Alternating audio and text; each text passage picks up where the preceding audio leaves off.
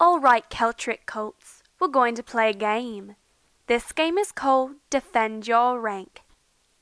But you didn't defend it, mid-ranker. All right, Celtric Colts, we're going to play a game. This game is called Defend Your Rank.